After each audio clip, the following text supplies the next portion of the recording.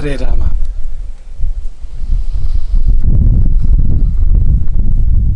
ನಿಮಗೆಲ್ಲರಿಗೂ ಶುಭೋದಯ.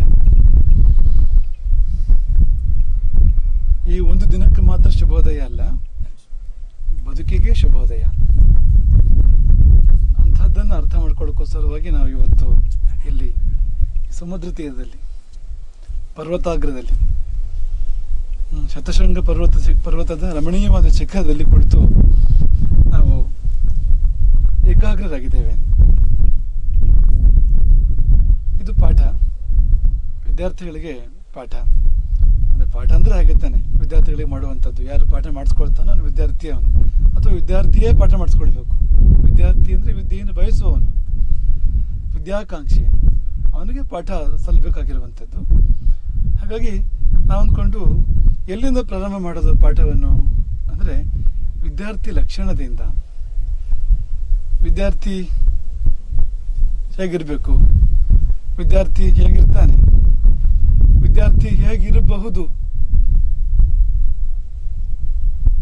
ಉದಾಹರಣೆ ಸಹಿತ ಅರ್ಥ ಮಾಡಿಕೊಳ್ಬೇಕು ನಾವು.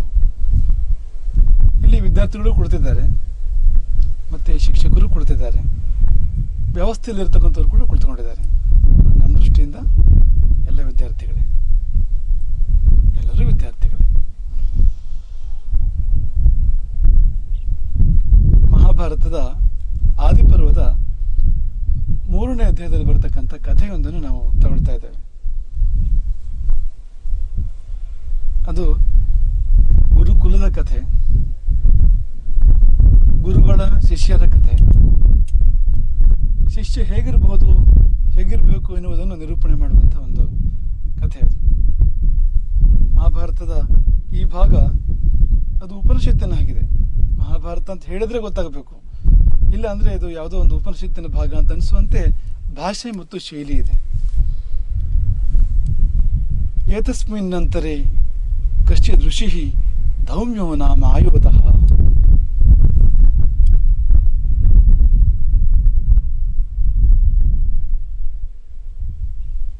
ಏತಸ್ಮಿನ್ ಅಂತಾರೆ ಅಂದ್ರೆ ಏತನ್ ಮಧ್ಯದಲ್ಲಿ? ಈಗಿನ್ನೂ ಪ್ರಾರಂಭ ಮಾಡ್ತಾ ಇದ್ದೇವೆ. ಏತನ್ ಮಧ್ಯದಲ್ಲಿ ಅಂದರೆ ಏನು ಅಂದ್ರೆ, ಇವತ್ತಿನ ಮಾತಲ್ಲ ಅದು. ಅವತ್ತಿನ ಮಾತು. ಯಾವತ್ತಿನ ಮಾತು ಅಂದ್ರೆ, ಜನಮೇಜಯ ರಾಜ್ಯವಾಡ್ತಾ ಇದ್ದ ಕಾಲದ ಮಾತು. ಜನಮೇಜಯ ಯಾರು ಗೊತ್ತಾ? ಯಕ್ಷಗಾನ ನೋಡಿದವರಿಗೆ ಈ ಶಬ್ದ ಗೊತ್ತಿರ್ತದೆ. ಕೇಳು ಜನಮೇಜಯನೇ ಅಂತ ಪ್ರಾರಂಭ ಆಗ್ತಾ ಇರ್ತದೆ ಪದ್ಯಗಳು ಯಕ್ಷಗಾನದಲ್ಲಿ. ಯಾರು ಜನಮೇಜಯ ಪಾಂಡವರು ಗೊತ್ತಾ? ಪಾಂಡವರಲ್ಲಿ ಮಧ್ಯಮ ಪಾಂಡವ ಗೊತ್ತಾ? ಮಧ್ಯಮ ಪಾಂಡವ ಅಂದರೆ ಈ ಕಡೆಯಿಂದಲೂ ಮೂರು, ಆ ಕಡೆಯಿಂದಲೂ ಮೂರು ಅಂತ. ಮೇಲಿಂದ ತಗೊಂಡ್ರೆ ಯುಧಿಷ್ಠಿರ, ಭೀಮ, ಅರ್ಜುನ ಮೂರನೇವನು. ಕೆಳಗಿಂದ ತಗೊಂಡ್ರೆ ಸಹದೇವ, ನಕುಲ, ಅರ್ಜುನ ಅಂತ. ಹಾಗಾಗಿ ಮಧ್ಯಮ ಪಾಂಡವ ಎಂಬುದಾಗಿ ಅವನಿಗೆ ಹೆಸರು. ಅರ್ಜುನನ ಪತ್ನಿ ಉತ್ತರೆ, ಅರ್ಜುನನ ಪತ್ನಿ ಸುಭದ್ರೆ. ಈ ಅರ್ಜುನ ಸುಭದ್ರೆಯ ಪುತ್ರ ಅಭಿಮನ್ಯು. ಅಭಿಮನ್ಯುವಿಗೆ ಉತ್ತರೆಯಲ್ಲಿ ಹುಟ್ಟಿರತಕ್ಕಂಥವನು ಪರೀಕ್ಷಿತ ಕಲಿಯನ್ನು ಗೆದ್ದವನು. ಕಲಿಯುಗದ ಆದಿಚಕ್ರವರ್ತಿ ಅವನು. ಅವನ ಮಗನೇ ಜನಮೇಜಯ. ಅರ್ಜುನನ ಮಗನ ಮಗನ ಮಗ ಮಿಮ್ಮಗ ಜನಮೇಜಯ ಜನಮೇಜಯನು ರಾಜ್ಯವಾಡ್ತಾ ಇದ್ದ ಕಾಲದಲ್ಲಿ ಒಬ್ಬರು ಋಷಿಗಳು, ಧೌಮ್ಯೋ ನಾಮ ಅಯೋಧ, ಧೌಮ್ಯ ಅಯೋಧ ಎಂಬುದಾಗಿ ಅವರಿಗೆ ಹೆಸರು. ಧೌಮ್ಯ ಅಂದ್ರೆ ಧೂಮಸ್ಯ ಗೋತ್ರಾಪತ್ಯಂ. ಅವರು ಹಿರಿಯರು ಧೂಮ ಎನ್ನುವರು ಅಂತ. ಅವರ ಪುತ್ರ ಆಗಿದ್ರಿಂದ ಧೌಮ್ಯ ಎಂಬುದಾಗಿ ಅವರಿಗೆ ಹೆಸರು. ನೋಡಿ ಹೆಸರೇ ಧೂಮ ಅಂತ ಆಗಬೇಕಾದ್ರೆ ಎಷ್ಟು ಧೂಮವನ್ನು ಕುಡಿದಿರಬೇಕು ಅವರು? ಧೂಮ ಅಂದ್ರೆ ಹೊಗೆ. ಇವತ್ತಿನ ಕಾಲದಲ್ಲಿ ಹೊಗೆ ಅಂದ್ರೆ ಮಾಲಿನ್ಯ ಅಂತ ಲೆಕ್ಕ, ಅಲ್ವಾ? ಹೊಗೆ ಅಂದ್ರೆ ನಮ್ಮ ಕೂಡಲೇ ನೆನಪಾಗೋದೇನು? ದೊಡ್ಡ ಪೇಟೆ, ವಾಹನಗಳು, ಅದು ಬಿಡುವ ಹೊಗೆ. ವಾಹನಗಳು ಬಿಡುವ ಹೊಗೆ ಮಾತ್ರ ಗೊತ್ತು ನಮಗೆ, ಧೂಮ ಅಂದ್ರೆ. ಆದ್ರೆ ಅವತ್ತಿನ ಕಾಲದಲ್ಲಿ ಧೂಮ ಅಂದ್ರೆ ಬಹಳ ಪವಿತ್ರ ಅದು ಅಗ್ನಿ ಅಗ್ನಿಹೋತ್ರದ ಧೂಮ. ಯಜ್ಞ ಯಾಗಗಳ ಧೂಮ ಎಷ್ಟು ಯಜ್ಞ ಮಾಡಿರಬೇಕು? ಎಷ್ಟು ಹೋಮ ಮಾಡಿರಬೇಕು? ಅಥವಾ ಎಷ್ಟು ಹವನಗಳಲ್ಲಿ ಭಾಗಿಯಾಗಿರಬೇಕು ಅಂತ. ಎಷ್ಟರ ಮಟ್ಟಿಗೆ ಅಂದರೆ ಧೂಮ ಎಂದು ಅಭಿಧಾನವೇ ಬರುವಷ್ಟರ ಮಟ್ಟಿಗೆ. ಹೊಗೆ ಒಳಗೆ ಕುಳಿತು ಹೊಗೆಯೇ ಆಗಿ ಹೋದ. ಅಂತ ಇನ್ನಷ್ಟರ ಮಟ್ಟಿಗೆ ಅವರು ಯಜ್ಞಭಾಗಿ ಅಂಥ ಧೂಮು ಪ್ರಶಸ್ತ ಅಂತ ಹೇಳ್ತಾರೆ ಅಂಥ ಧೂಮವು ದೇಹಕ್ಕೂ ಮನಸ್ಸಿಗೂ ಆತ್ಮಕ್ಕೂ ಒಳ್ಳೆಯದು ಅಂತ ಹೇಳ್ತಾರೆ ನೋಡಿ ಆಯುರ್ವೇದದಲ್ಲಿ ಸ್ವಸ್ಥ ಜೀವನಕ್ಕೆ ರೋಗೋಪಶಾಂತಿಗೆ ರೋಗ ಪರಿಹಾರಕ್ಕೆ ಧೂಮವನ್ನು ಹೇಳ್ತಾರೆ. ಈ ಹರಿದ್ರಾಚೂರ್ಣ ಅಂದರೆ ಅರಿಶಿಣ ಬೇವು ಈ ಮತ್ತು ಹಾಲು ಬರೋ ವೃಕ್ಷಗಳ ತೊಗಟೆ ಜಟಾಮಾಂಸಿ ಏಲಕ್ಕಿ ಇವುಗಳ ಧೂಮ ತುಂಬ ಪ್ರಶಸ್ತ ಅಂತ, ತುಂಬ ಶ್ರೇಷ್ಠ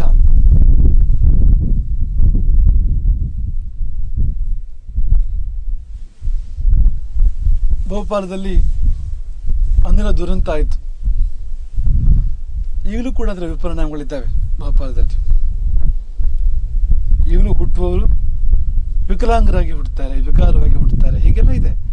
ಆದರೆ ಯಾವ ಮನೆಗಳಲ್ಲಿ ಅಗ್ನಿಹೋತ್ರ ನಡೀತಾ ಇತ್ತೋ, ಯಾವ ಮನೆಗಳಲ್ಲಿ ಧೂಮದ ವಾತಾವರಣ ಇತ್ತೋ, ಹೋಮ ಧೂಮದ ವಾತಾವರಣ ಇತ್ತೋ, ಆ ಮನೆಗಳಿಗೆ ವಿಷಾನಿಲವು ಯಾವ ದುಷ್ಪರಿಣಾಮವನ್ನು ಬೀರಲಿಲ್ಲ. ಇದರ ಮೇಲೆ ತುಂಬ ಸಂಶೋಧನೆಗಳು ಆಗಿದೆ, ತುಂಬ ಲೇಖನಗಳು ಬಂದಿದೆ, ತುಂಬ ಚರ್ಚೆಗಳು ಆಗಿದೆ ಈ ವಿಷಯದ ಮೇಲೆ. ಅಗ್ನಿಹೋತ್ರವು ಎಲ್ಲಿ ನಡೀತಾ ಇತ್ತೋ ಆ ಮನೆಗಳ ಮೇಲೆ ಭೋಪಾಲದ ವಿಷಾನಿಲ ದುಷ್ಪರಿಣಾಮವನ್ನು ಬೀರಲಿಲ್ಲ ಅಂತ. ಅಂದ್ರೆ ಇಷ್ಟು ಪ್ರಶಸ್ತ ಅದು, ಧೂಮ ಎನ್ನುವಂಥದ್ದು. ಅಂತಹ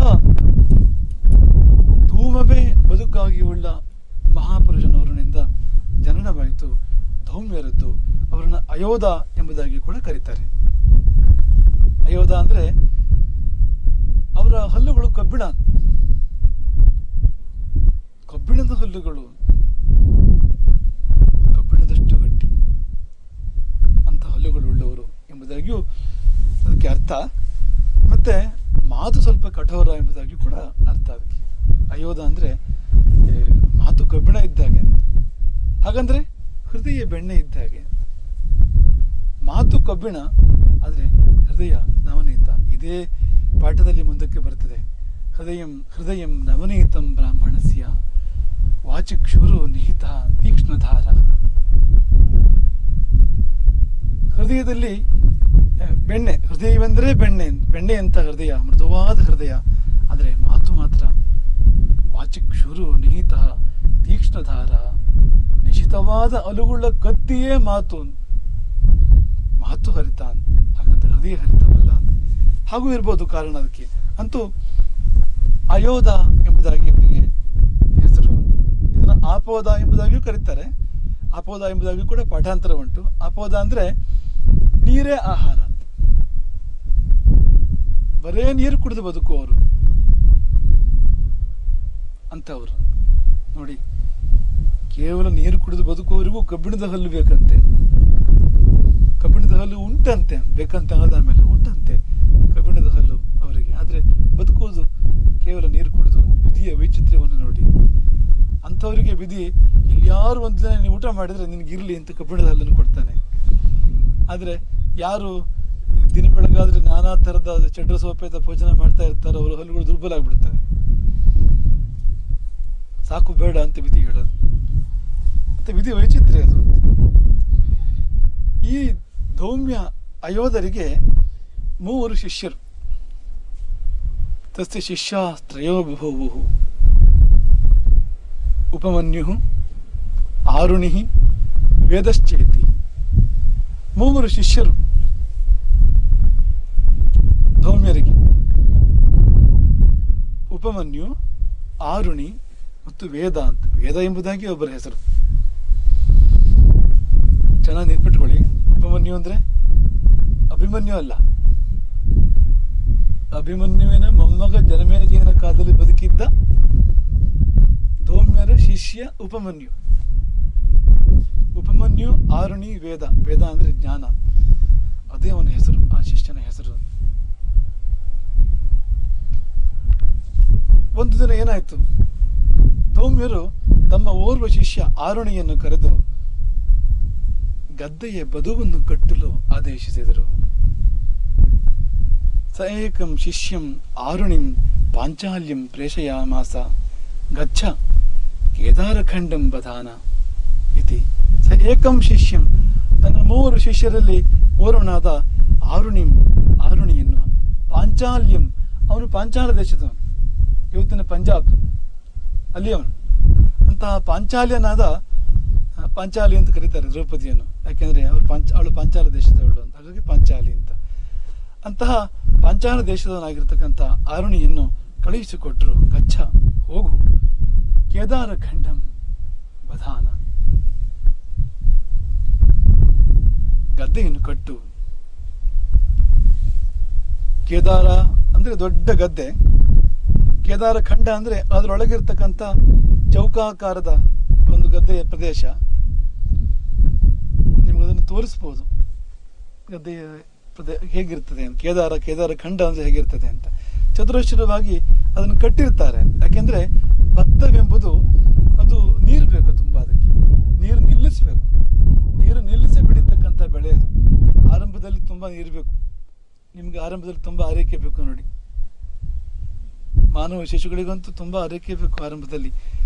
ಹಸುವಿನ ಕರು ಹುಟ್ಟು ಸ್ವಲ್ಪ ಹೊತ್ತಿಗೆ ಎದುರು ನಿಂತ್ಕೊಳ್ತದೆ. ಆದರೆ ಮಾನವ ಎತ್ತಿಟ್ಕೊಳ್ಬೇಕಾದ್ರೆ ಬಹಳ ಸಮಯ ಬೇಕಾಗ್ತದೆ ನೋಡಿ. ಅಲ್ವಾ? ಒಂದು ಕಾರ್ಯಕ್ರಮವೇ. ಕೌಚ್ಕೊಳ್ಳೋದು ಕಾರ್ಯಕ್ರಮವೇ. ಮುಂದಕ್ಕೆ ಹೋಗೋದು ಕಾರ್ಯಕ್ರಮವೇ. ಕೂತ್ಕೊಳ್ಳೋದು ಕಾರ್ಯಕ್ರಮವೇ. ನಿಂತ್ಕೊಳ್ಳೋದಂತೂ ದೊಡ್ಡ ಕಾರ್ಯಕ್ರಮ. ಆರೈಕೆ ತುಂಬ ಬೇಕಾಗ್ತದೆ. ತುಂಬ ಬೇಕಾಗ್ತದೆ. ಹಾಗೆ ಭತ್ತವು ಕೂಡ ಆರಂಭದಲ್ಲಿ ಆರೈಕೆ ತುಂಬ ಬೇಕು. ನೀರು ನಿಲ್ಲಿಸಬೇಕಾಗ್ತದೆ. ಅಷ್ಟು ನೀರು ಬೇಕಾಗ್ತದೆ. ಅದಕ್ಕೆ ಅಂತ. ನಿಮ್ಗೆ ಕಾಣ್ತಾ ಇದೆಯಾ? ಗೊತ್ತಿಲ್ಲದೆ ಇರೋರು ಏನಲ್ಲ ಆದ್ರೆ ಈಗಿನ ತಲೆಮಾರಿಗೆ ಅದರ ಪರಿಚಯ ಕಡಿಮೆ ಆಗ್ತಾ ಇದೆ.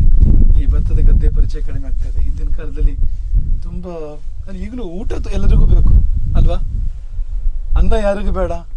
ಅನ್ನ ಬೇಕು ಅಂದ್ಮೇಲೆ ಅಕ್ಕಿ ಬೇಕು. ಅಕ್ಕಿ ಬೇಕು ಅಂದ್ಮೇಲೆ ಭತ್ತ ಬೇಕು. ಭತ್ತ ಬೇಕು ಅಂದ್ಮೇಲೆ ಭತ್ತದ ಗದ್ದೆ ಬೇಕು. ಅದು ಎಲ್ಲರಿಗೂ ಬೇಕು. ಈಗ ಹಾಲು ಎಲ್ಲರಿಗೂ ಬೇಕು. ಹಾಲು ಕುಡಿತಾರೆ ಎಲ್ಲರೂ ಕೂಡ, ಆದ್ರೆ ಹಸು ಗೊತ್ತಿಲ್ಲ. ಹಾಲು ಎಲ್ಲಿಂದ ಬರ್ತದೆ ಅಂದ್ರೆ ನಂದಿನಿ ಪ್ಯಾಕೆಟಿನಿಂದ ಬರ್ತದೆ ಅಂತ ಮಾತ್ರ ಗೊತ್ತು ಹೊರತು ಹಾಲು ಹಸುವಿನ ಕೆಚ್ಚಲಿಂದ ಬರ್ತದೆ ಅಂತ ಎಷ್ಟು ಎಷ್ಟು ಮಕ್ಕಳಿಗೆ ಗೊತ್ತು? ಇವತ್ತಿನ ಹೊಸ ತಲೆಮಾರಿನ ಮಕ್ಕಳಿಗೆ ಅದು ಗೊತ್ತಿಲ್ಲ ಅನ್ನೋ ಕಾಲ ಬರ್ತಾ ಇದೆ. ಹಾಗೆ ನಮಗೆ ಇವತ್ತು ಗದ್ದೆ ಗೊತ್ತಿಲ್ಲ. ಆದರೆ ಅನ್ನ ಗೊತ್ತು. ಬಗೆ ಬಗೆಯ ಬಾತುಗಳು ಗೊತ್ತು ನಮಗೆ. ಅಲ್ವಾ?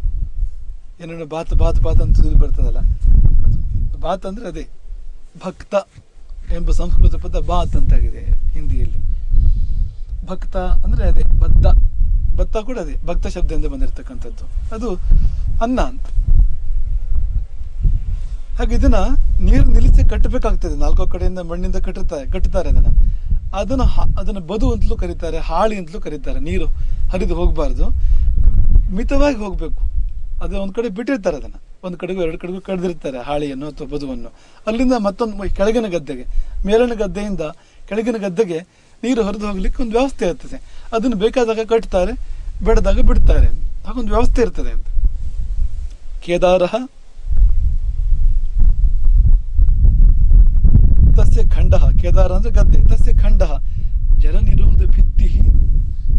ನೀರು ಹರಿದು ಹೋಗದಂತೆ ಕಟ್ಟತಕ್ಕಂಥ ಭಿತ್ತಿ ಗೋಡೆ ತರ ಚಿಕ್ಕ ಗೋಡೆ ತರ ಒಂದಿಷ್ಟೇ ಹತ್ರ ಇರ್ತಕ್ಕಂಥ ಗೋಡೆ ಅದು ಅಂತ.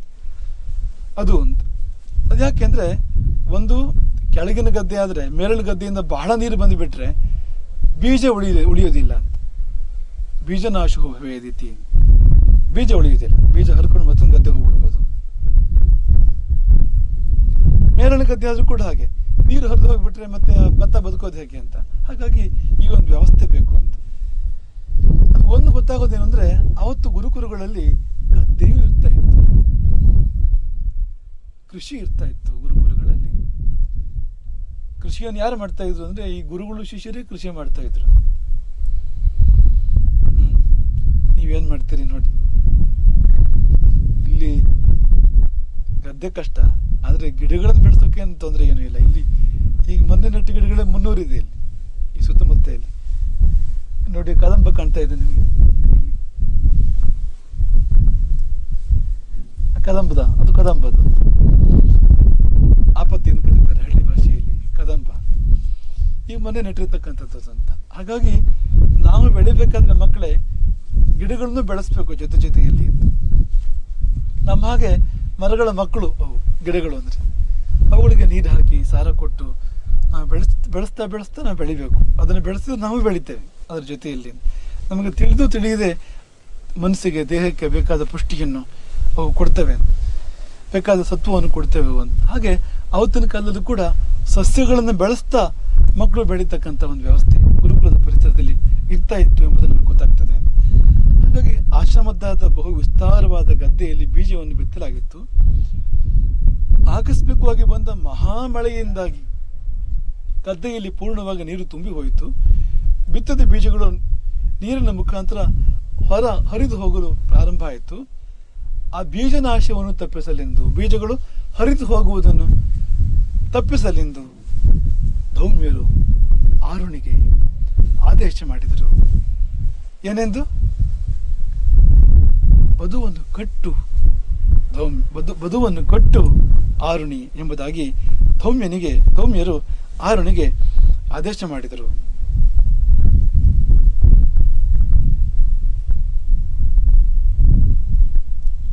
ಗದ್ದೆಯ ನೀರಿನ ಹರಿವನ್ನು ಕಟ್ಟಿದಂತೆಯೇ ಮನೋವೃತ್ತಿಗಳ ಹರಿವನ್ನು ಕಟ್ಟಬೇಕು. ನಮ್ಮ ಮನಸ್ಸು ಕೂಡ ಹಾಗೆ ಹರಿದು ಹೋಗ್ತಾ ಇರ್ತದೆ ಅಂತ, ಎಲ್ಲೆಲ್ಲೋ ಅಂತ. ಬೇಕಾದಲ್ಲಿ, ಬೇಡದಲ್ಲಿ, ಬೇಕಾದಲ್ಲಿ ಹೋದರೆ ತೊಂದರೆ ಇಲ್ಲ. ಬೇಡದಲ್ಲಿ ಹರಿದು ಹೋಗ್ತಾ ಇರ್ತದೆ ನಮ್ಮ ಮನಸ್ಸು ಅಂತ. ಆ ಹರಿದು ಹೋಗುವ ಮನಸ್ಸನ್ನು ಹಿಡಿದು ನಿಲ್ಲಿಸಬೇಕು. ಅಲ್ವಾ? ನೀವು ಪಾಠ ಕೇಳ್ತಾ ಇದ್ದೀರಿ. ಮನಸ್ಸು ಎಲ್ಲಿದೆ ಇಲ್ಲೇ ಇದೆಯಾ? ಎಲ್ಲರೂ ಹೊರದೋಯ್ತಾ? ಹಾ ಇಟ್ಬೇಡಿ. ಪಾಠ ಕೇಳೋ ಹೊತ್ತಲ್ಲಿ ಅವನು ಆರುಣಿ, ಗದ್ದೆಯ ಬದುವನ್ನು ಕಟ್ಟಿ ನೀರನ್ನು ನಿಲ್ಲಿಸಿದ ಹಾಗೆ ನೀವು ನಿಮ್ಮ ಮನೋವೃತ್ತಿಗಳನ್ನು ನಿಲ್ಲಿಸಬೇಕು. ಭಗವಂತನ ಮೇಲೆ ನಮ್ಮ ಮನಸ್ಸನ್ನು ನಿಲ್ಲಿಸಿಬಿಟ್ರೆ ಸಾಕ್ಷಾತ್ಕಾರ. ಮೋಕ್ಷ ಸಿದ್ಧ ಅವನಿಗೆ. ಅವನು ಮಹಾಪುರುಷನಾಗ್ತಾನೆ, ಮಹಾಜ್ಞಾನಿ ಆಗ್ತಾನೆ ಅವನು. ಎಲ್ಲಿ ಮನಸ್ಸನ್ನು ನಿಲ್ಲಿಸಿದ್ರು ಯೋಗ ಹೇಳ್ತದೆ ಅದರ ಜ್ಞಾನ ಉಂಟಾಗ್ತದೆ ಅಂತ ನನಗೆ ಅಂತ ಮನಸ್ಸನ್ನು ಎಲ್ಲೇ ಒಂದು ಕಡೆ ನಿಲ್ಲಿಸಿದರೆ ಅದರ ತತ್ವ ಗೊತ್ತಾಗ್ತದೆ ನಮಗೆ. ಅದರ ಸೂಕ್ಷ್ಮಗಳು, ಮರ್ಮಗಳು ಗೊತ್ತಾಗ್ತವೆ. ಅದು ನಮ್ಮ ಮನಸ್ಸಿನಲ್ಲಿ ಬೆಳಕಾಗ್ತದೆ ಅಂತ. ಹಾಗಾಗಿ ಮನೋವೃತ್ತಿ, ಅದನ್ನು ನಿಲ್ಲಿಸೋದು ಅನ್ನೋದು ದೊಡ್ಡ ಶಕ್ತಿಯನ್ನು ಕೊಡಬಲ್ಲದು. ನಮ್ಮ ಮನಸ್ಸು ಅನ್ನೋದು ಪ್ರಚಂಡ ಶಕ್ತಿ ಇದು. ಅದು ಹೊರದು ಹೋಗೋದನ್ನು ನಿಲ್ಸೋಕೆಂದ್ರೂ ಸಾಧ್ಯ ಆದರೆ ನಮಗೆ ತುಂಬ ಶಕ್ತಿ ಬರ್ತದೆ ನಮಗೆ. ಅವನು ಉಳಿದಿದ್ದು ಸತ್ಯ ಆಗ್ತದೆ. ನಾವು ಅಂದ್ಕೊಂಡಿದ್ದಾಗ್ತದೆ. ಆಶೀರ್ವಾದ ಮಾಡೋ ಶಕ್ತಿ ಬರ್ತದೆ ನಮಗೆ. ಯಾವಾಗ ಅಂದರೆ ಮನೋವೃತ್ತಿಯನ್ನು ತಡೆದು ನಿಲ್ಲಿಸುವ ಶಕ್ತಿ ನಮಗೆ ಬಂದಾಗ, ಆ ಪ್ರಯತ್ನದಲ್ಲಿ ನಾವು ಯಶಸ್ವಿಯಾದಾಗ ಇದಾಗ್ತದೆ ಹಾಗಾಗಿ ಅದು ನೆನಪು ಮಾಡುವಂತೆ ಇದೆ ಅದು. ಗುರು ಶಿಷ್ಯನಿಗೆ ಹೇಳುವಂಥದ್ದು, ಹೋಗು ಗದ್ದೆಯ ವಧುವನ್ನು ಕಟ್ಟು. ಆರುಣಿಯು ಅಂತೆಯೇ ಮಾಡಿದ. ಗುರುಗಳ ಆಜ್ಞೆಯನ್ನು ಪಾಲಿಸಿದ. ಪಾಲಿಸಬೇಕಂತೆ. ಆಚಾರ್ಯ ಅನ್ನೋ ಶಬ್ದಕ್ಕೆ ಅರ್ಥ ಅದು. ಜೀವನದ ನಡೆಯ ಕುರಿತು ಆಜ್ಞೆ ಮಾಡಬಲ್ಲವನು. ಆಚಾರ್ಯ ಅಂದ್ರೆ ಆಜ್ಞೆ. ಆಚಾರದ ಕುರಿತು, ಆಚಾರದ ನಡೆ, ನಡತೆ. ಅದರ ಕುರಿತು ಆಜ್ಞೆ ಮಾಡಬಲ್ಲವನೇ ಆಚಾರ್ಯ. ಶಿಷ್ಯ ಅಂದ್ರೆ ಅದಕ್ಕೆ ಒಳಪಡುವವನು. ಶಾಸನಕ್ಕೆ ಆಚಾರನ ಶಾಸನಕ್ಕೆ ಒಳಪಡುವವನು. ಶಿಷ್ಯ ಶಬ್ದಕ್ಕೆ ಅರ್ಥ ಹಾಗೆ. ಹಾಗಿದ್ರೆ ಮಾತ್ರವೇ ಅವನು ಶಿಷ್ಯ, ಹೀಗಿದ್ರೆ ಮಾತ್ರವೇ ಅವನು ಆಚಾರ್ಯ. ಹಾಗಾಗಿ ಶಿಷ್ಯ ಶಬ್ದಕ್ಕೆ ಅರ್ಥ ಬರಬೇಕು? ಅರ್ಥ ಬರಬೇಕು ಅಂದ್ರೆ ಗುರುವಿನ ಆಜ್ಞೆಯನ್ನು ಪಾಲಿಸಬೇಕು. ಗುರು ಶಿಷ್ಯನನ್ನು ಲಾಲಿಸಬೇಕು. ಶಿಷ್ಯನು ಗುರುವಿನ ಆಜ್ಞೆಯನ್ನು ಪಾಲಿಸಬೇಕು. ಒಂದು ಅಕ್ಷರ ವ್ಯತ್ಯಾಸ. ಪಾಲಿಸಬೇಕು, ಲಾಲಿಸಬೇಕು ಮತ್ತು ಪಾಲಿಸಬೇಕು.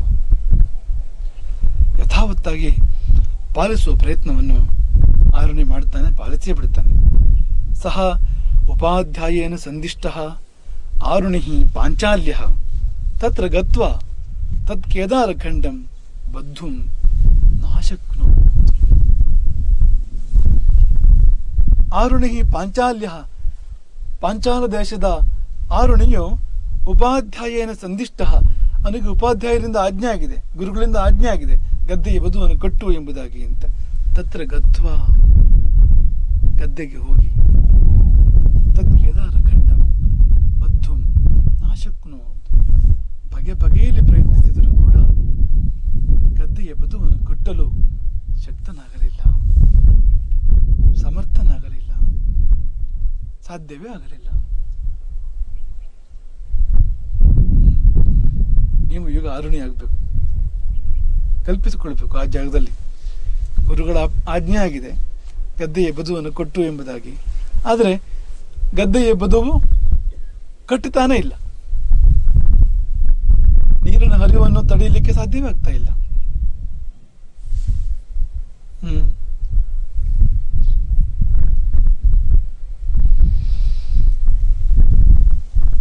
ಕೇದಾರಖಂಡೆ ನಿಸ್ಸರಮಾಣಂ ಉದಕಂ ಅವಾರಣೀಯಂ ಎಂಬುದಾಗಿ ಅವನೇ ಮುಂದೆ ಹೇಳ್ತಾನೆ. ಅವಾರಣೀಯಂ ಅಂದ್ರೆ ತಡೆಯಲಿಕ್ಕೆ ಸಾಧ್ಯ ಆಗ್ತಾ ಇಲ್ಲ ನೀರಿನ ಹರಿವನ್ನು. ಏನೇನು ಮಾಡಿದ್ರು ಕೂಡ ಹರಿದು ಹೋಗೇ ಬಿಡ್ತದೆ ನೀರು ಅಂತ ಪರಿಸ್ಥಿತಿ. ಏನೋ ವಿಚಿತ್ರ ಇದೆ. ಯಾಕೆಂದ್ರೆ ಕಟ್ಟಿದ್ರೆ ಕಟ್ಟಬೇಕಪ್ಪ ಕಟ್ಟುವುದು ಅಂದ್ರೆ ಏನು ಮತ್ತೆ? ಅದೇನು ಗದ್ದೆ ಬದುವನ್ನು ಕೊಟ್ಟೋದು ಅಂದ್ರೆ ಏನು ರಮ್ಯ ಅದು? ಅಂಥದ್ದೇನಿದೆ ಆಗದೆ ಇರುವಂಥದ್ದು ಯಾವುದೋ ಶಕ್ತಿ ಕೆಲಸ ಮಾಡ್ತಾ ಇತ್ತೋ ಏನೋ ಗೊತ್ತಿಲ್ಲ. ಸಾಮಾನ್ಯವಾಗಿ ಗದ್ದೆಯ ಬದುವನ್ನು ಕಟ್ಟಲಿಕ್ಕೆ ಏನೇನು ಪ್ರಯತ್ನಗಳನ್ನು ಮಾಡ್ತಾರೆ, ಆ ಎಲ್ಲ ಪ್ರಯತ್ನಗಳನ್ನು ಮಾಡಿದರೂ ಕೂಡ ಆರುಣಿಗೆ ಗದ್ದೆಯ ಬದುವನ್ನು ಕಟ್ಟಲು, ನೀರಿನ ಹರಿವನ್ನು ತಡೆಯಲು ಸಾಧ್ಯವಾಗಲಿಲ್ಲ. ಸತ್ಲಿಶ್ಯಮಾನ ಕ್ಲೇಶವಾಯಿತು. ಆರುಣಿಗೆ ವ್ಯಥೆಯಾಯಿತು ಮನಸ್ಸಿಗೆ. ಆಗ್ತಾ ಇಲ್ವಲ್ಲ? ಗುರುಗಳ ಆಜ್ಞೆಯನ್ನು ಪಾಲನೆ ಮಾಡಲು ಸಾಧ್ಯವೇ ಆಗ್ತಾ ಇಲ್ವಲ್ಲ? ಅಪಶ್ಯದ ಉಪಾಯಂ. ಉಪಾಯವೇ ಗೋಚರವಾಗಲಿಲ್ಲ ಮೊದಲು. ಆರುಣಿಗೆ ಬಹಳ ಹೊತ್ತು ಚಿಂತಿಸಿದ ಮೇಲೆ ಒಂದು ಉಪಾಯ ಗೋಚರಿಸಿತು ಅವನಿಗೆ. ಭಾವತ್ತು ಏವಂ ಕರಿಷ್ಯಾಮಿ. ಆಗಲಿ, ಹೀಗೆ ಮಾಡ್ತೇನೆ. ಎಂಬುದಾಗಿ ಆರುಣಿ ಭಾವಿಸಿದ. ಹೇಗೆ ಮಾಡ್ತೇನೆ? ಎಂಬುದಾಗಿ. ನೀವು ಊಹೆ ಮಾಡಿ, ಏನು ಮಾಡಿರ್ಬೋದು ಅವನು? ಆರುಣಿ ನೀವೇನು ಮಾಡ್ತಿದ್ರಿ ಗದ್ದೆಯ ಹಾಳಿಯನ್ನು ಕೊಟ್ಟು ಎಂಬುದಾಗಿ ಗುರುಗಳು ಹೇಳಿದ್ದಾರೆ. ಅದು ಕಟ್ತಾ ಇಲ್ಲ. ಎಷ್ಟು ಮಣ್ಣು ಹಾಕಿದ್ರು, ಕಲ್ಲು ಹಾಕಿದ್ರು, ಏನು ಮಾಡಿದ್ರು, ಅದು ಕಟ್ತಾ ಇಲ್ಲ. ನೀವು ಅಂದ್ರೆ ಏನು ಮಾಡ್ತಾ ಇದ್ರಿ? ಏನು ಉಪಾಯ ಗೋಚರಿಸಿರ್ಬೋದು ಅವನಿಗೆ?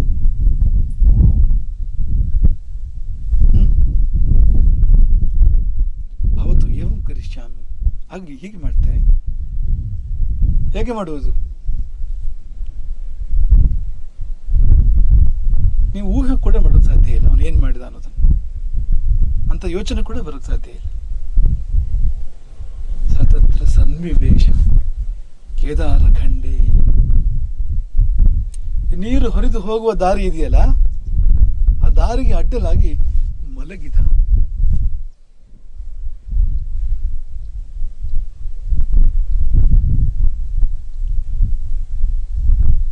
ನಿಮ್ಗೆ ಈ ಯೋಚನೆ ಬರ್ತಾ ಇತ್ತಾ ಹಾ ಬರ್ತಾ ಇತ್ತ ನೀವು ಹೀಗೆ ಮಾಡ್ತಾ ಇದ್ರಾ ಆರುಣಿ ಹೀಗೆ ಮಾಡಿದ್ದಾನೆ. ಆರುಣಿಯನ್ನು ಶ್ರೇಷ್ಠ ಶಿಷ್ಯ ಎಂಬುದಾಗಿ ಪರಿಗಣಿಸಲಾಗಿದೆ. ಅವನು ಮಾಡಿದ್ದು ಹೇಗೆ? ಅಡ್ಡಲಾಗಿ ಮಲಗಿದ.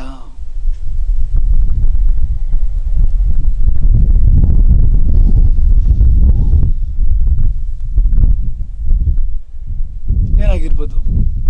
ಮಲಗಿದ ಮೇಲೆ ನೀರಿನ ಹರಿವು ನಿಂತಿರ್ಬೋದಾ ಸಾಧ್ಯವಾ ನೀವು ಆಲೋಚನೆ ಮಾಡಿ ಕಲ್ಲು ಮಣ್ಣು ಹಾಕಿ ಕಟ್ಟೆ ಕಟ್ಟಿದ್ರು, ನಿಲ್ಲದೇ ಇರುವ ನೀರು, ಒಬ್ಬ ಮನುಷ್ಯ ಅಡ್ಡ ಮಲಗಿದ್ರೆ ನಿಲ್ತದ? ಎಲ್ಲ ಕೊಯ್ಸೊಂದಲ್ಲೋ, ಕಾಲ್ಸೊಂದಲ್ಲೋ ಜಾಗ ನೀರು ಅಲ್ಲಿಂದ ಹೊರಗಡೆ ಹೋಗ್ಬಿಡ್ತದೆ. ಆದ್ರೆ ಹಾಗಾಗ್ಲಿಲ್ವಂತೆ ಶಯಾನೆ ತಥಾ ತಸ್ಮಿನ್ ತದುದಕಂ ತಸ್ಥವು ಆರಣಿಯು ಗದ್ದೆಯ ಬದುವಿನಲ್ಲಿ ಅಡ್ಡ ಮಲಗಿರಲಾಗಿ ತದುದಕಂ ತಸ್ಥವು ಆ ನೀರು ನಿಂತು ಬಿಟ್ಟಿತು. ಯಾಕೆ? ನೀರಿಗೆ ಕನಿಕರ ಬಂತು. ನೀರಿಗೆ ಪಾಪ. ಗುರುವಾಜ್ಞಾ ಪಾಲನೆಗೋಸ್ಕರವಾಗಿ ಇಷ್ಟೆಲ್ಲ ಮಾಡ್ತಾ ಇದ್ದಾನಲ್ಲ ಅಂತ. ಹಿಂದೂ ಮುಂದೆ ನೋಡದೆ ತಾನೇ ಮಲಗಿದಾನಲ್ಲ ನೋಡಿ, ಚಳಿ ಆಗ್ತಾ ಇದೆ, ಗಾಳಿ ಬೀಸ್ತಾ ಇದೆ, ಅಲ್ವಾ? ನಾಲ್ಕನೇ ನೀರು ಬಿದ್ದರೆ ಹೇಗಿರ್ಬೋದು? ನನ್ನ ಮೈ ಮೇಲೆ ಈಗ. ಎಷ್ಟು ಕಷ್ಟ ಆಗ್ಬೋದು ನಾಲ್ಕನೇ ನೀರು ಬಿದ್ದರೆ ಆದರೆ ಈ ಈ ಆರುಣಿಯ ಮೈ ಮೇಲೆ ನೀರು ಹರಿದು ಹೋಗ್ತಾ ಇದೆ ಅನ್ನೋ ಪರಿಸ್ಥಿತಿ ಅಂತ. ನೀರು ಬಂದು ಅಡ್ಡ ನಿಂತಿದೆ. ಆದರೆ ಅವನು ಹೇಳಲಿಲ್ಲ ಮಲಗೇ ಇದ್ದ ನೀರು ಕೂಡ ನಿಂತೇ ಬಿಡ್ತು ಒಂದು ಸೂಕ್ಷ್ಮ ನಿಮಗೆ ನಾವು ಹೇಳೋದೇನು ಅಂದರೆ ಮೊದಲು ನೀರು ನಿಲ್ಲಲಿಲ್ವಲ್ಲ?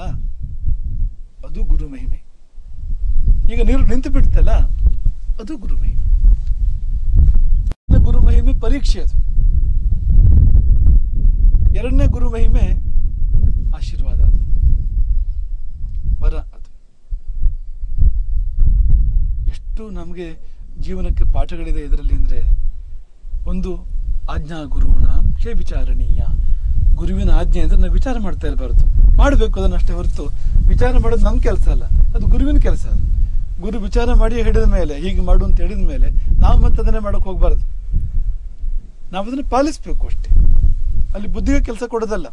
ಮಾಡಬೇಕು, ಮಾಡಬಾರ್ದು, ಹಾಗಲ್ಲ, ಹೀಗೆ ಮಾ, ಅದೇನೂ ಅಲ್ಲ ಅಂತ. ಯಥಾವತ್ತಾಗಿ ಹೇಗೆ ಆಜ್ಞೆ ಆಗಿದೆಯೋ ಹಾಗೆ ಪಾಲನೆ ಮಾಡುವಂಥದ್ದು. ಆ ಪಾಠ ಇದೆ ಇಲ್ಲಿ. ಮತ್ತೆ ಮರಳಿ ಯತ್ನವ ಮಾಡು, ಮರಳಿ ಯತ್ನವ ಮಾಡು. ನಾವು ಬಿಡಬಾರ್ದು. ಒಂದು ಕಾರ್ಯ ಆಗಲಿಲ್ಲ ಅಂತಂದ್ಬಿಟ್ರೆ, ಯಾವುದೋ ಒಂದು ಪ್ರಯತ್ನ ಮಾಡಿದಾಗ ಒಂದು ಕಾರ್ಯ ಆಗಲಿಲ್ಲ ಅಂದ್ಬಿಟ್ರೆ, ನಿರಾಶರಾಗಿ ಕೈ ಚೆಲ್ಲಬಾರದು ನಾವು. ಏನೇನು ಮಾಡೋದಕ್ಕೆ ಸಾಧ್ಯವೋ ಅದೆಲ್ಲವನ್ನು ಮಾಡಬೇಕು. ಈಗ ಅಡ್ಡಲಾಗಿ ಮಲಗೋದಂದ್ರೆ ಏನು? ಸರ್ವಾರ್ಪಣೆ ಇದು ಸರ್ವಾರ್ಪಣೆ ಇದು. ಇನ್ನೇನು ಬಾಕಿ? ಇನ್ನೇನು ಮಾಡ್ಬೋದು? ನೀರಿನ ವಿರುದ್ಧ ಧರಣಿ ಅಡ್ಡಲಾಗಿ ಮಲಗೋದಂದ್ರೆ ಏನು? ಧರಣಿ ಕೂತ ಹಾಗೆ, ಧರಣಿ ಮಲಗಿದ ಹಾಗೆ ಆ ಥರ ಇದೆ ನೋಡಿ ಇದು ಅಂತ. ಹಾಗಾಗಿ ಮಾಡಬೇಕಾದ ಎಲ್ಲ ಪ್ರಯತ್ನಗಳನ್ನು ಮಾಡಿಯೇ ಬಿಡಬೇಕು, ಮಾಡದೇ ಇರಬಾರದು ಎನ್ನುವ ಪಾಠವೂ ಕೂಡ ಇದೆ ಇಲ್ಲಿ. ಮತ್ತು ಕೊನೆಯದಾಗಿ ಗುರು ಕೈ ಬಿಡೋದಿಲ್ಲ ಅವನು ದಾರಿಯನ್ನು ತೋರಿಸ್ತಾನೆ. ಎಲ್ಲೂ ಅವನ ಶಕ್ತಿ ಕೆಲಸ ಮಾಡ್ತದೆ. ನಮ್ಮ ಶಕ್ತಿ ಏನು? ಗುರು ಕರುಣೆ ಕೆಲಸ ಮಾಡ್ತದೆ. ಗುರುವಿನ ಆಶೀರ್ವಾದ ಕೆಲಸ ಮಾಡ್ತದೆ. ಆ ವಾಕ್ಯ ವಧುವನ್ನು ಕಟ್ಟಿ ಬಾ ಎನ್ನುವ ವಾಕ್ಯ ಇದೆಯಲ್ಲ, ವಾಕ್ಯವೇ ಮಂತ್ರ ಅದು. ಅದರಲ್ಲಿ ಮಹಾಶಕ್ತಿ ಇದೆ ನಾವು ಒದಗಿದ್ರೆ ಅದು ಒದಗ್ತದೆ ನಮಗೆ ಅಂತ. ಆ ವಾಕ್ಯವು ನಮಗೆ ಒದಗ್ತದೆ ಅಂತ. ಇದೆಲ್ಲವನ್ನು ಕೂಡ ಈ ಕಥೆ ನಿರೂಪಿಸ್ತಾ ಇದೆ. ಮನಸ್ಸಿದ್ರೆ ಮಾರ್ಗ. ಗುರುವಿನ ಆದೇಶವಿದ್ದರೆ ಗುರಿಯಡೆಗೆ ದಾರಿಯು ತಾನಾಗಿ ತೆರೆದುಕೊಳ್ಳುವುದು. ಅಸಂಭವವು ಸಂಭವವಾಗುವುದು. ಆಯ್ತು, ಈ ಕಡೆಗೆ ಗುರುಕುಲದಲ್ಲಿ ಗುರುಗಳು ಗಮನಿಸ್ತಾ ಇದ್ದಾರೆ. ಅಯೋಧ ಧೌಮ್ಯರು, ಎಲ್ಲಿ ಆರುಣಿ? ಕಾಣ್ತಾ ಇಲ್ವಲ್ಲ? ಯಾಕೆಂದ್ರೆ ರಾತ್ರಿ ಕಳೆದು ಬೆಳಗ್ಗೆ ಆಗಿದೆ. ಸಮಯ ಸರಿದು ಹೋಗಿದೆ ಸಾಕಷ್ಟು ಅಂತ. ಮಧ್ಯಾಹ್ನ ಮೇಲೆ ಎಷ್ಟೊತ್ತಿಗೆ ಕಳಿಸ್ಕೊಟ್ಟಿರ್ಬೋದು ಅವರು. ಅವ್ನು ರಾತ್ರಿ ಇಡೀ ಹಾಗೆ ಮಲಗಿದ್ದಾನೆ. ನೀರಿಗೆ ಅಡ್ಡಲಾಗಿ ಮಲಗಿದ್ದಾನೆ. ಮರುದಿನ ಪ್ರಾತಃ ಕಾಲವಾಗಿದೆ ಎಲ್ಲ ಶಿಷ್ಯರನ್ನು ಗಮನಿಸ್ತಾ ಇದ್ದಾರೆ ಧೌಮ್ಯರು.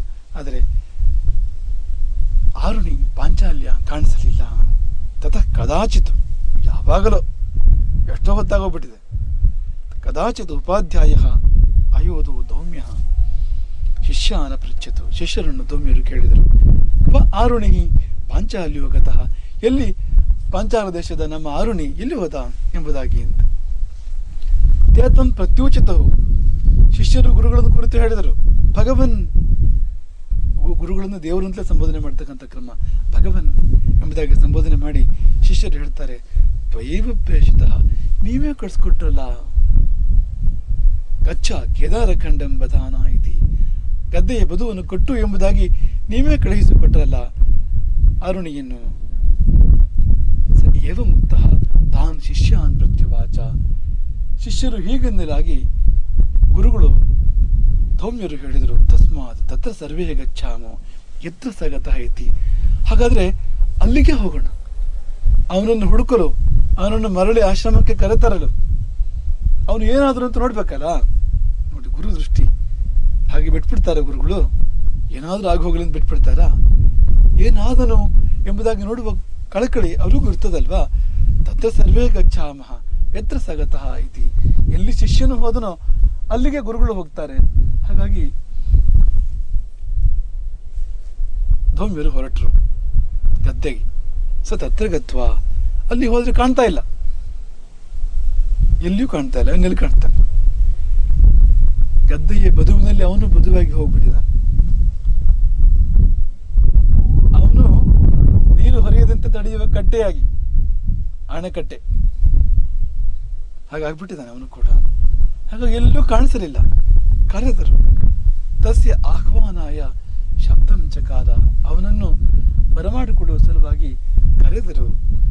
ತೊಮ್ಮರು ಹೇಗೆಂದು? ಭೋ ಆರುಣೆ ಪಾಂಚಾಲ್ಯ ಕ್ವಾಸೆ ವತ್ಸ ಏಹಿ ಇತಿ. ಎಲೈ ಆರುಣಿಯೇ ಪಾಂಚಾಲ್ಯನೇ. ಕ್ವಾಸೆ ವತ್ಸ ಎಲ್ಲಿರುವೆ ಮಗು? ಏಹಿ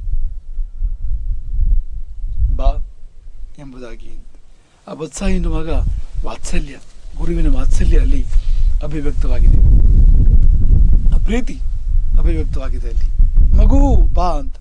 ಈ ವತ್ಸ ಅಂದ್ರೆ ಈ ಹಸುವಿನ ಕರುವಿಗೆ ವತ್ಸ ಎಂಬುದಾಗಿ ಮೂಲತಃ ಅದಕ್ಕಿರ್ತಕ್ಕಂಥದ್ದು. ಅದು. ಈ ವತ್ಸಲ ಅಂದ್ರೆ ವತ್ಸನನ್ನು ಕುರಿತು ಒಂದು ಭಾವ ಕರುವಿಗೆ ಬರ್ತದಲ್ಲ, ಶಿ- ಹಸುವಿಗೆ ಬರ್ತದಲ್ಲ, ಆ ಭಾವಕ್ಕೆ ವಾತ್ಸಲ್ಯ ಎಂಬುದಾಗಿ ಹೆಸರು. ಹಾಲನ್ನು ಸುರಿಸುವಾಗ ಕರುವನ್ನು ಕುರಿತು ಹಸುವಿಗೆ ಉಂಟಾಗುವ ಪ್ರೀತಿ ಇದೆಯಲ್ಲ, ಅದಕ್ಕೆ ವಾತ್ಸಲ್ಯ. ಆ ಆ ಹಸು ವತ್ಸಲ ಅಂತ ಮನುಷ್ಯರಲ್ಲಿ ಯಾರಿಗಾರು ಬಂದ್ರೆ ಅವರು ಕೂಡ ವತ್ಸಲರು. ವತ್ಸ ಅಂದರೆ ಕರು. ಆ ಜಾಗದಲ್ಲಿ ಇರ್ತಕ್ಕಂಥ ಮಕ್ಕಳಿಗೂ ಕೂಡ ವತ್ಸ ಎಂಬುದಾಗಿ ಕರೆಯೋದುಂಟು ನೀವೆಲ್ಲ ವತ್ಸರೆ ಅದೇ ಹಿಂದಿಯಲ್ಲಿ ಬಚ್ಚ ಅಂತ ಇದೆ ನೋಡಿ ಈ ವತ್ಸ ಸಂಸ್ಕೃತ. ಹಿಂದಿಯಲ್ಲಿ ಬಚ್ಚ ಅಂತ ಆಗಿದೆ ವಾ ಬಾ ಆಗಿದೆ ವತ್ಸ ಅದು ಉಚ್ಚಾರ ಮಾಡ್ತಾ ಮಾಡ್ತಾ ಮಾಡ್ತಾ, ಸರಿಯಾಗಿ ಉಚ್ಚಾರ ಮಾಡ್ಲಿಕ್ಕೆ ಬರೆದವರು ಉಚ್ಚಾರ ಮಾಡ್ತಾ ಮಾಡ್ತಾ ಮಾಡ್ತಾ ಹಾಗಾಗಿದೆ. ಬತ್ಸ ಅಂತ ಬಚ್ಚ ಅಂತ ಆಗಿದೆ ನೋಡಿ ಅಂತ. ಬತ್ಸ ಎಂಬುದಾಗಿ ಹಸುವು ಕರುವನ್ನು ಕರೆಯುವಂತೆ ಗುರುವು ಶಿಷ್ಯನನ್ನು ಕರೆದರು. ಸತಚ್ಯುತ್ವ ಆರುಣಿಗೆ ಗುರುವಿನ ಕರೆಯು ಕೇಳಿಸಿತು. ಉಪಾಧ್ಯಾಯ ವಾಕ್ಯಂ. ತಚ್ಯುತ್ವ ತಸ್ಮಾತ್ ಕೇದಾರ ಖಂಡಾತ್ ಸಾಹಸೋತ್ಥಾಯ ಆ ಗದ್ದೆಯ ಬದುವಿನಿಂದ ಸಾಹಸೋತ್ಥಾಯ ಲಘುಬಗನೆ ಮೇಲೆದ್ದು ತಡವಿಲ್ಲದೆ ಮೇಲೆದ್ದು ಗುರುವಿನ ಮುಂದೆ ಬಂದು ನಿಂತು ಕೈ ಮುಗಿದು ತಮ್ಮ ಉಪಾಧ್ಯಾಯಂ ಉಪದತ್ತೆ ಅಂಜಲಿಬದ್ಧನಾಗಿ ಗುರುವಿನ ಮುಂದೆ ನಿಂತನು ಆರುಣಿ. ಅಲ್ಲೂ ಹಠ ಮಾಡಬಾರದು. ಇಲ್ಲ, ನಾ ಇದ್ದು ಬರೋದಿಲ್ಲ. ಗುರುಗಳಲ್ಲಿ ಏ, ಗದ್ದೆ ಕಟ್ಟು ಅಂತ ಹೇಳಿದ್ದಾರೆ. ಕಟ್ತೀನಿ ನಾ ಎದ್ದು ಬರೋದಿಲ್ಲ ಅಂತ ಅಲ್ಲಿ ಹಠ ಮಾಡಬಾರ್ದು. ಯಾಕಂದ್ರೆ ಕರೆ ಗುರುವಿನದ್ದೇ ಇದು. ಇದು ಗುರುವಿನ ಆಜ್ಞೆ ನೋಡಿ ಮತ್ತೆ. ಏಹಿ ವತ್ಸ ಬಾ ಮಗು ಅಂದಾಗ ಆಜ್ಞಾಪಾಲನೆ ಮತ್ತೆ ಇರ್ತಕ್ಕಂಥದ್ದು. ಹಾಗಾಗಿ ಎದ್ದು ಬಂದ ಆರುಣಿ.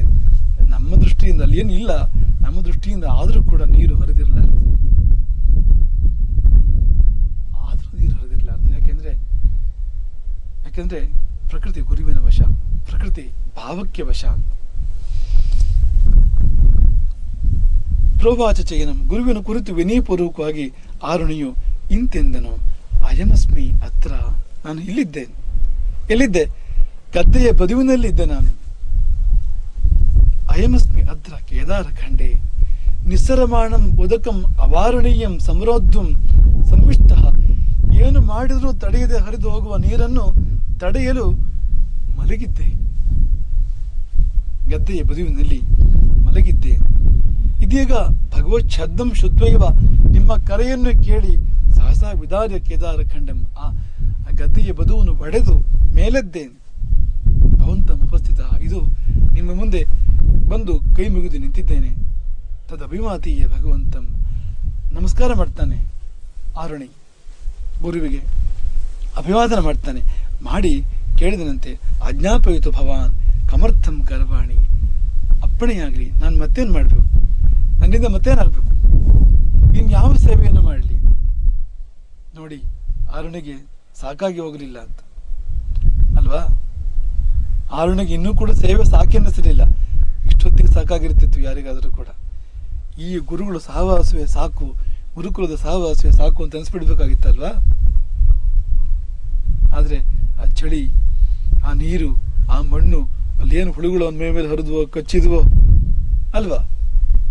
ಗದ್ದೆ ಅಂದರೆ ಏಡುಗಳಿರ್ಬೋದು ಇನ್ನು ಬೇರೆ ಬೇರೆ ರೀತಿಯ ಹುಳುಗಳಿರ್ಬೋದು ಅಲ್ಲಿ. ಅವೆಲ್ಲ ಹೊರದಾಡಿರ್ಬೋದು ಕಚ್ಚಿರ್ಬೋದು. ಆದರೆ ಎದ್ದಿಲ್ಲ ನೋಡಿ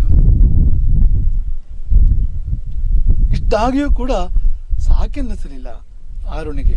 ಸೇವೆ ಬೇಕೆನ್ನಿಸಿತು ಹಾಗಾಗಿ ಅಜ್ಞಾಪಯಿತು ಭವಾನ್ ಕಮರ್ಥಂ ಕರವಾಣಿ, ಅಪ್ಪಣೆಯಾಗಲಿ ಮತ್ತೇನು ಮಾಡಬೇಕು? ನನಗೆ ಮತ್ತೇನು ಆದೇಶ? ಎಂಬುದಾಗಿ ಕೇಳಿದಾಗ ಆಚಾರ್ಯರು ಕರುಣೆಯಲ್ಲಿ ಕರಗಿ ಹೋಗಿರ್ತಾರೆ. ಸೌಮ್ಯರು ಎಷ್ಟು ಪ್ರೀತಿ ಬಂದಿರಬೇಕು ಅವರಿಗೆ, ತನ್ನ ಶಿಷ್ಯನ ಬಗ್ಗೆ. ಹೊಸದೊಂದು ಹೆಸರನ್ನೇ ಅನುಗ್ರಹ ಮಾಡ್ತಾರೆ ಸೌಮ್ಯರು ತನ್ನ ಶಿಷ್ಯನಿಗೆ. ಉದ್ದಾಲಕನೇನು ಹಿಂದಿನಿಂದ ಪಾಂಚಾಲ್ಯ ಆರುಣಿ ಅವನಿಗೆ ಇನ್ನು ಮುಂದೆ ಅಭಿಧಾನ ಹೆಸರು ಉದ್ದಾಲಕ ಎಂಬುದಾಗಿ. ಉದ್ದಾಲಕ ಅಂದ್ರೆ ಗದ್ದೆಯ ಬದುವನು ಒಡೆದು ಎದ್ದು ಬಂದವನು, ಒಡೆದು ಎದ್ದು ಬಂದವನು ಅಂತ. ಆ ಶಬ್ದಕ್ಕರ್ಥ ಹಾಗೆ ಅಂತ. ದಲ ಧಾತು ಒಡೆಯೋದನ್ನು ಹೇಳ್ತದೆ. ಈ ದ್ವಿದಳ ಧಾನ್ಯ ದಲ ಅಂತ ಹೇಳ್ತಾರೆ. ದಲ ಅಂದ್ರೆ ಒಡೆಯೋದು ಒಡೆಯೋದು ಅಂತ ಅದಕ್ಕೆ ಅರ್ಥ ಶಬ್ದಕ್ಕೆ. ಹಾಗಾಗಿ ಉದ್ದಾಲಕ, ಉತ್ ಅಂದ್ರೆ ಮೇಲೆ ಅಂತ. ಉದ್ದಾಲಕ ಅಂದ್ರೆ ಗದ್ದೆಯ ಬದುವನ್ನು ಒಡೆದು ಮೇಲೆದ್ದು ಬಂದವನು. ಬದುಕಿನಲ್ಲಿ ಕೂಡ ಹಾಗೆ. ಮಾಯೆಯ ಕಟ್ಟಿಯನ್ನು ಒಡೆದು ಮೇಲೆದ್ದು ಬಂದವನು. ಬದುಕಿನ ಬಂಧನಗಳನ್ನು ಹರಿದು ಮೇಲೆದ್ದು ಬಂದವನು ಅವನು. ಹಾಗಾಗ್ತೀರಿ ನೀವು ಕೂಡ. ಉದ್ದಾಲಕ ಸೌಮ್ಯರು ನಿಮ್ಮ ಮನಸ್ಸಿನಲ್ಲಿ ನಿಂತರೆ ನೀವು ಕೂಡ ಹಾಗೆ ಆಗ್ತೀರಿ ಉದ್ದಾಲಕರಾಗ್ತೀರಿ ಗುರುಗಳ ವಾಣಿ, ಸ ಏವ ಮುಕ್ತ ಉಪಾಧ್ಯಾಯ ಪ್ರತ್ಯುವಾಚ. ಹೀಗೆ ಶಿಷ್ಯನಿಂದ ಅಭಿಹಿತನಾಗಿರ್ತಕ್ಕಂಥ ಉಪಾಧ್ಯಾಯರು ಧೌಮ್ಯರು ಪ್ರತಿವಾಚ ಪ್ರತಿವಚನವನ್ನು ಹೇಳಿದರು. ಏನೆಂದು ಎಂಬುದಾದರೆ ಎಂಬುದ ಎನ್ನುವುದಾದರೆ, ಯಸ್ಮಾತ್ ಭವಾನ್ ಕೇದಾರಖಂಡಂ ವಿದಾರಿಯ ಉತ್ತಿತ. ನೀನು ಈ ಗದ್ದೆಯ ಬದುವನ್ನು ಒಡೆದು ಮೇಲೆದ್ದೆಯಲ್ಲವೇ ತಸ್ಮಾತ್ ಅದೇ ಕಾರಣಕ್ಕೆ ಉದ್ದಾಲಕ ಏವ ನಾಮ್ನ ಭವಾನ್ ಭವಿಷ್ಯತಿ. ನೀನು ಉದ್ದಾಲಕನೆಂಬುದಾಗಿ ಜಗತ್ತಿನಲ್ಲಿ ವಿಖ್ಯಾತನಾಗುತ್ತೀಯೇ ಎಂಬುದಾಗಿ ಅನುಗ್ರಹೀತ ಸುಮ್ಮನೆ ಹೆಸರು ಕೊಟ್ಟಿದ್ದಲ್ಲ, ಆಶೀರ್ವಾದ ಮಾಡಿದ್ದದು ಅನುಗ್ರಹೀತ ಅನುಗ್ರಹ ಮಾಡಿದರು ಅಂದ್ರೆ ಏನು ಬದುಕಿನಲ್ಲಿ ಮೇಲೆದ್ದು ಬಾ ನೀನು. ನಿನ್ನನ್ನು ಏನೆಲ್ಲ ಬಂಧಿಸಿದೆಯೋ ಆ ಬಂಧನಗಳನ್ನು ಹರಿದು, ಒಡೆದು ನೀನು ಮೇಲೆದ್ದು ನಿಲ್ಲು ಎಂಬುದಾಗಿ ಆಶೀರ್ವಾದ ಅದು. ಕೇವಲ ಒಂದು ಹೆಸರು ಮಾತ್ರವಲ್ಲ, ಜೀವಕ್ಕೆ ಅನುಗ್ರಹ. ಮಾತ್ರವಲ್ಲ, ವಾಚ್ಯವಾಗಿ ಕೂಡ ವರವನ್ನು ಕೊಡ್ತಾರೆ. ಯಸ್ಮಾಚ್ಚ ತ್ವಯಾ ಮದ್ವಚನಂ ಅನುಷ್ಠಿತಂ. ಯಾವ ಕಾರಣಕ್ಕೆ ನೀನು ನನ್ನ ಮಾತನ್ನು ಪಾಲಿಸಿದೆಯೋ, ನನ್ನ ಮಾತನ್ನು ನೀನು ನನ್ನ ಆಜ್ಞೆಯನ್ನು ಪಾಲಿಸಿದೆಯಲ್ವಾ, ಅದೇ ಕಾರಣಕ್ಕೆ ಶ್ರೇಯ ಅವಾಪ್ಸಿಸಿ. ನಿನಗೆ ಶ್ರೇಯಸ್ಸಾಗ್ತದೆ ನಿನಗೆ ಒಳ್ಳೆಯದಾಗ್ತದೆ. ಏನು ಒಳ್ಳೆಯದು? ಚ ವೇದಾಹತೆ ಪ್ರತಿಭಾಸ್ಯಂತಿ ಎಲ್ಲ ವೇದಗಳು ತಾನಾಗಿ ನಿನಗೆ ಗೋಚರಿಸ್ತವೆ ಕಿಡಿ ಅಧ್ಯಯನ ಮಾಡಿದರೂ ಕೂಡ ಅಧ್ಯಯನ ಮಾಡಿ ಮುಗಿದೆ ಇರತಕ್ಕಂಥ ವೇದಗಳು. ಇವತ್ತು ಉಪಲಭ್ಯ ಇರತಕ್ಕಂಥ ವೇದಗಳು ಇದೆಯಲ್ಲ? ಅಷ್ಟನ್ನು ಕೂಡ ಒಂದು ಇಡೀ ಜೀವನದಲ್ಲಿ ಅಧ್ಯಯನ ಮಾಡಿ ಮುಗಿಸಲಿಕ್ಕೆ ಸಾಧ್ಯ ಇಲ್ಲ. ಅನಂತ ವೇದಗಳು ಅಂದ್ರೆ ನಿಮ್ಮ ಭರದ್ವಾಜನ ಕತೆ ಬರ್ತದೆ. ಹೇಳ್ತೇನೆ ಅವನು ಇಡೀ ಜೀವನ ವೇದಾಧ್ಯಯನ ಮಾಡಿದಂತೆ. ಅದಕ್ಕೆ ಇಂದ್ರ ಅವನಿಗೆ ಆಶೀರ್ವಾದ ಮಾಡಿ ಮತ್ತೊಂದು ಜೀವನ ಕೊಟ್ಟಂತೆ ಇನ್ನೊಂದು ಆಯುಸ್ಸು ಕೊಟ್ಟನಂತೆ. ಆ ಇಡೀ ಆಯುಸ್ಸು ವೇದಾಧ್ಯಯನ ಮಾಡಿದಂತೆ ಅವನು. ಇಂದ್ರ ಮತ್ತೊಂದು ಆಯುಸ್ ಕೊಟ್ಟನಂತೆ ಅವನಿಗೆ. ಈ ಮೂರು ಆಯುಸ್ ಇಡೀ ವೇದಾಧ್ಯಯನ ಮಾಡಿದ ಮೇಲೆ ಇಂದ್ರ ತೋರಿಸ್ಕೊಡ್ತಾನೆ ಭಾರದ್ವಾಜನಿಗೆ, ಒಂದು ದೊಡ್ಡ ಬೆಟ್ಟವನ್ನು ತೋರಿಸಿ, ಇವು ವೇದಗಳು ಅಂತ. ಮೂರು ಮುಷ್ಟಿ ತೆಗೆದುಕೊಡ್ತಾನೆ, ಇದು ನೀನು ಓದಿದ್ದು, ನೀನು ಅಧ್ಯಯನ ಮಾಡಿದ್ದು. ಮೂರು ಪೂರ್ಣಾಯುಸ್ಸು ವೇದಾಧ್ಯಯನ ಮಾಡಿದ ಮೇಲೆ, ಆಗಿದ್ದೇನು ಅಂದರೆ, ಬೆಟ್ಟದಂಥ ವೇದದ ರಾಶಿಯಲ್ಲಿ ಇದು ಮೂರು ಮುಷ್ಟಿ.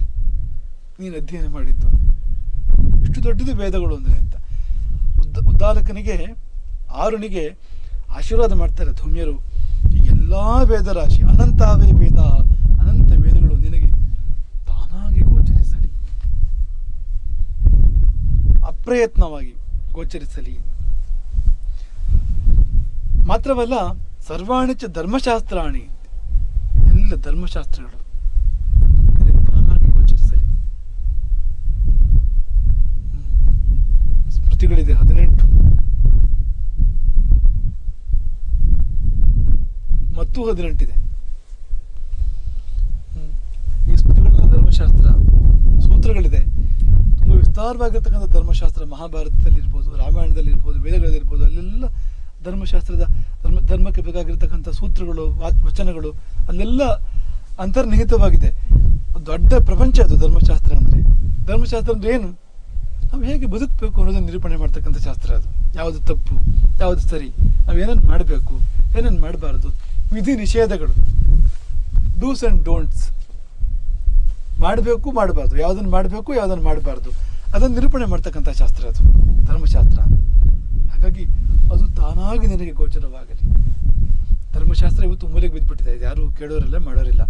ಅದನ್ನು ವಿಶೇಷವಾಗಿ ಓದೋರು ಕೂಡ ಯಾರು ಅನಂತರ ಆಗಿಬಿಟ್ಟಿದೆ. ಆದರೆ ಎಷ್ಟು ಮುಖ್ಯವಾದದ್ದು ಅಂದರೆ ಇಂತಹ ದೊಡ್ಡ ಶಿಷ್ಯನಿಗೆ ಅಂಥ ದೊಡ್ಡ ಗುರುಗಳು ಆಶೀರ್ವಾದ ಮಾಡಿದ್ದು ನಿನಗೆ ಧರ್ಮಶಾಸ್ತ್ರ ಗೋಚರಿಸಲಿ. ತಾನಾಗಿ ನಿನಗೆ ಧರ್ಮಶಾಸ್ತ್ರ ಗೋಚರಿಸಲಿ ಎಂಬುದಾಗಿ. ಅಂದರೆ ಎಷ್ಟು ದೊಡ್ಡದಾಗಿರ್ಬೇಕು ಅದು. ನಿಮಗೆ ಇಲ್ಲಿ ಪಠ್ಯ ಅದು.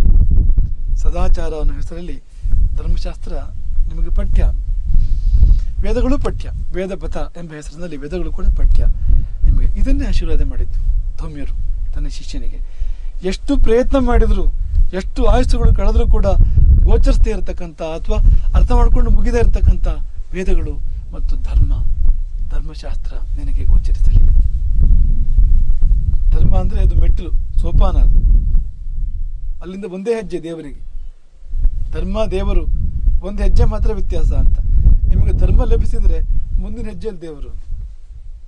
ಧರ್ಮ ಅಂದರೆ ದೇವರ ದ್ವಾರ ಅದು ಯಾರಲ್ಲಿ ಧರ್ಮ ಇದೆಯೋ ಅವರಿಗೆ ದೇವರಿದ್ದಾನೆ, ಅವರ ಪಾಲಿಗೆ.